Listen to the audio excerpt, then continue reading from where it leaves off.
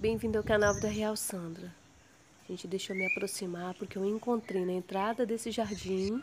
Olha isso, essa suculenta aqui.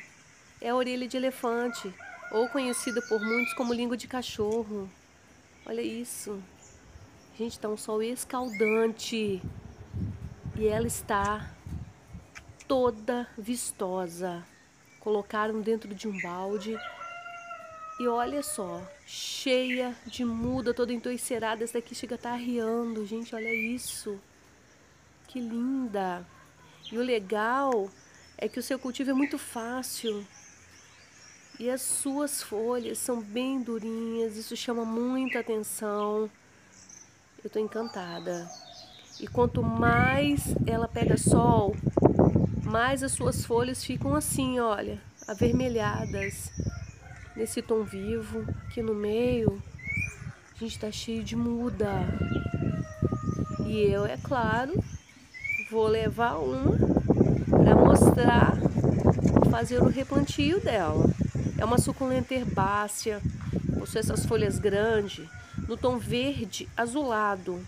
E essas colorações aqui, ó, meio avermelhada, vem a partir do momento que ela fica no sol, tá? E ela ama locais ensolarados. Então, assim, se você tem na sua casa, não se preocupe. E quanto mais sol ela pega, mais vistosa ela fica. Chega assim, de 60 centímetros a um metro, essa aqui está enorme. E o detalhe é que essa beleza que se destaca mais ainda quando vem as suas flores. Eu, na verdade, ainda não vi essa floração, tá? Mas dizem que é branco e outros dizem que é meio amarelinha, então eu não sei. Eu, quando eu cultivar a minha mudinha, eu vou poder dizer com mais precisão, porque eu tenho certeza que a minha irá florir. Olha que encanto. Esses detalhes chamam muita atenção. Possui essa forma de roseta. Suas folhas são bem distribuídas.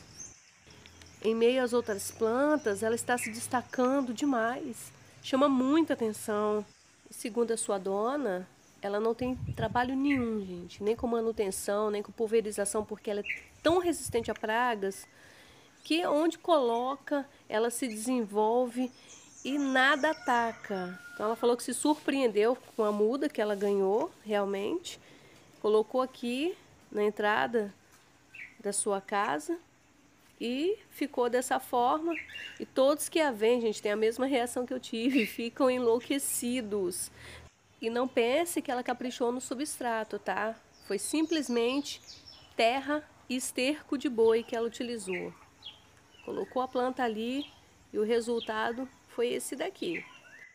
É uma planta de fácil cultivo, se propaga pelos brotos que saem ao redor da planta, pelas gemas que surgem no pendão após o florescimento e pela estaquia das folhas. Basta retirar e colocar no papel toalha deixa secar a ponta e pronto. Depois que formar uma película, leva uns dois, três dias, aí é só plantar. Eu vou fazer um procedimento mais rápido, que é plantar a muda já com a raiz. E eu vou mostrar ele esse passo a passo agora. E as mudas estão aqui. Essa tá bem enraizada. A maior, ela veio com um fiozinho só de raiz, mas isso não impede que ela rebrote. Pode ser colocada, gente, em areia, terra e esterco. Só isso. Mas se você tiver como preparar uma compostagem que vai deixar ela mais nutrida, faça. Eu preparei uma com vermiculita, terra vegetal, esterco de boi, humus de minhoca, casca de ovo e pedacinhos de carvão ó, carvão vegetal. Misturei tudo, vou colocar no vaso e centralizar então a planta. Eu vou colocar no vaso de borda bem larga, porque se você notou, ela gosta de se espalhar. Ela é uma suculenta bem folgada. E quando começam a vir as mudas, elas ocupam o vaso todo. Então dê um espaço para ela se desenvolver, e você não precisa ficar trocando o tempo inteiro de vaso, de substrato, porque se isso ficar acontecendo, sua planta não desenvolve, acaba retardando o crescimento. Então não há necessidade. Não precisa ficar encontrando um jeitinho de ajudar a planta.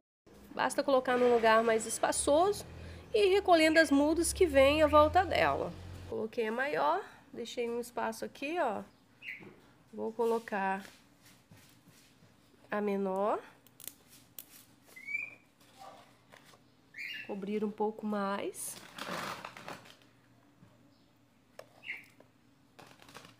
Não aperta a planta, tá, gente? Só vai cobrindo as raízes com mais substrato. Você pode até dar leve sacudida no vaso para esse substrato se assentar mais rápido. Deixando sempre um dedo sobrando entre a borda do vaso e a terra, para que você possa sempre estar acrescentando mais substrato ao vaso. Ficou dessa forma aqui. Olha que lindo, gente. Vou enfeitar com pedrinhas de rio. Mas se você não quiser colocar nada, não coloque, fica a seu critério. Aqui no meu caso, é só para enfeitar mesmo. Porque às vezes você vai ter dificuldades em encontrar essas pedrinhas aí na cidade que você mora. Então você pode substituir por argila expandida ou pedaços de casca de pinos. É até bom que faz uma forração mantém assim a terra mais umedecida. Olha que lindo que ficou o meu vaso com a orelha de elefante. Aí agora, depois desse procedimento, é só aguar. Coloque água o suficiente que vaze no fundo do vaso, para que você tenha certeza que toda a terra que está aqui foi umedecida. Após esse procedimento, você só vai regar novamente quando a terra estiver seca. Na realidade, você vai seguir todos os procedimentos de cultivo de uma suculenta. Nos dias quentes, regue duas vezes por semana ou até mais, dependendo da região que você mora, e durante o inverno, a cada 10 dias. E outra coisa, não precisa ficar colocando fertilizante líquido.